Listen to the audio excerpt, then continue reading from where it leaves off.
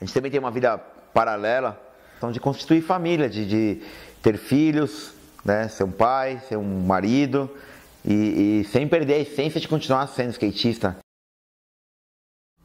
Ah, o skate entrou na minha vida como um brinquedo há mais de 25 anos atrás. Eram as primeiras apresentações de skates, conhecida como demos na época, dentro da FEBEM. Não existia ainda a Fundação Casa, era famigerada FEBEM Tatuapé, conhecida pela sua violência. Pela...